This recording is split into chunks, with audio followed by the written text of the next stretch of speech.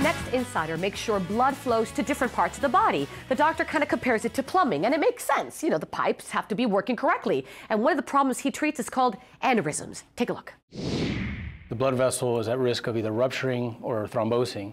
Um, uh, patients with venous problems, which tend to be younger patients, uh, patients with uh, blockages in the arteries of the legs, blockages in the arteries of the carotids, um, uh, and development of aneurysms everywhere in the body, particularly outside of the brain or the skull and the uh, heart. All right, so since you brought up aneurysms, that's a great way to start the show right now. So let's talk about um, briefly, because I know we're going to do more of an anatomy in just a few seconds, but what they are and how common they are. You hear about them. I'm not sure how common they are. Can you tell us? Uh, about 14 to 20,000 aneurysms are diagnosed annually um, and treated. Not, not all aneurysms need to be treated. Um, the ones that need to be treated are the ones that are more at risk of rupture.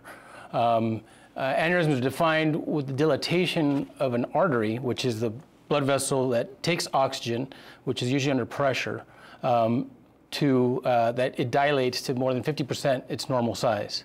So at certain size in certain arteries, that risk, once it dilates, sort of like a balloon popping. Mm -hmm. So when a balloon pops at a certain size, once that wall gets so thin that the balloon pops, it's sort of the same physics with, uh, with an artery. At some point, there's a, a size that the wall is so tight that the next step is for it to rupture. All right, so as we continue our discussion, I do want to take a moment to let our viewers know that if you have a question for doctors, and the doctor here, of course, you can give us a call, toll free number 855 796 4475. Once again, that's 855 796 4475. We would love to hear from you. All right, so the doctor is now next to our 3D image of what is an aneurysm. So, doctor, walk us through first the anatomy right there, and then I have a couple questions after.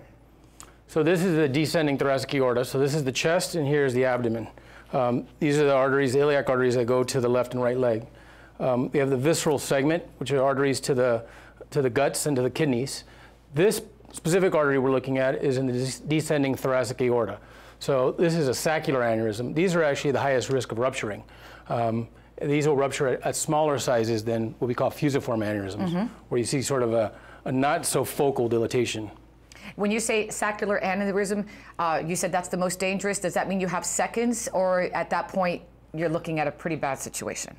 Um, these develop slowly over time. So uh, not seconds. I mean, you have probably days to weeks to be evaluated okay. and to be treated. Um, you know, I think if you present to the hospital with this specific aneurysm, you'll be treated during that hospitalization. So they won't even let you leave? Uh, I would say in most cases, no. Okay, and how do you treat this aneurysm and why does it develop, if I can ask that? How does it form? Well, aneurysms, depending on where they, what part of body they, they're in, usually develop from some weakening in the wall of the, of the blood vessel. And so uh, there are some advanced histology, which I won't go through now, that where the weakening of the wall will, and the pressure coming from the heart will cause dilatation of the artery. This one may have started from a, a small plaque in the aorta mm. where blood leaked into the different layers of the wall, causing some weakening. Um, but they tend to be seen more in males than in females. Uh, Any reason why? We don't know. We don't know. We that? don't know. Um, okay. I know smoking is uh, one of the biggest factors, as is uh, blood pressure. Uh, this is one of the few illnesses where you see less frequently in diabetes. Um, so uh, that's interesting. Although diabetics get it, you know, uh, uh, by rate they get it less frequently than than non-diabetics. Does size matter in terms of that size there, in terms of the the you know how big it can get? Absolutely, size definitely matters, and we were talking about okay. uh, aneurysms. And, and all what, different types of aneurysms, size matters. And what happens next when that occurs? Uh, what could happen if it was left untreated?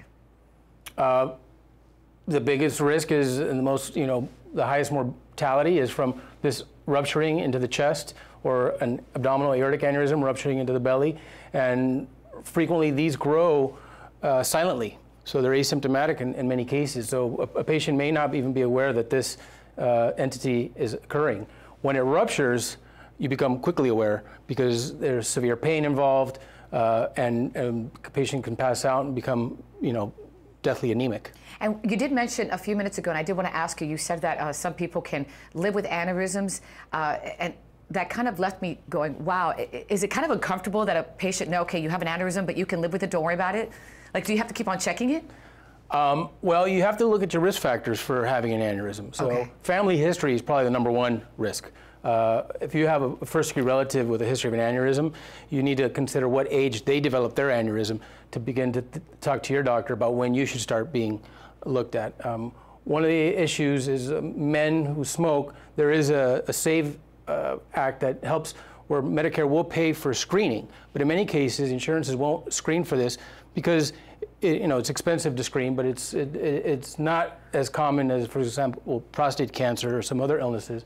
But nonetheless, you know one of the challenges as vascular surgeons face is trying to find a way to screen more patients to Right. find these. I know, because it's quite scary that you don't even know you may have one. Correct. And people are walking around, and who knows if they have one at this point. Correct, All right, we have some uh, tests that might you might be used to determine if you have an aneurysm. Uh, let's walk through these, doctors, if we can. Uh, CT scan, uh, MRI, MRA, echocardiogram, ultrasound examination. Do you use them all, or do you have a, a go-to? Um, for abdominal aneurysms, we begin uh, with ultrasound examination. It's the best screening exam because it doesn't involve any radiation and it has almost no bioeffects to the body. CT scan is a way that aneurysms are frequently found coincidentally, looking for something else that an aneurysm is found. Um, CT scan is not a good screening tool because it involves radiation. Okay. So if we, you know, radiated an entire population, that can have its own side effects. Um, MRA, MRI are not good screening tests. Um, and again, those when those uh, are performed, usually we find an aneurysm coincidentally. And echo is, when it's done for other reasons, can identify a thoracic aneurysm in the chest. Okay. And aneurysms can they be found anywhere in the body, doctor? Sure, aneurysms can be anywhere the arteries occur. Okay. Um, you know, uh, the brain, which would neurosurgery and neuroradiology would tend to treat, um, but in the chest, the abdomen, legs, upper extremities. Now, you know, different locations are more or less common than others. By the way, to learn more about aneurysms or maybe to watch another episode with this doctor, download the Health Channel app.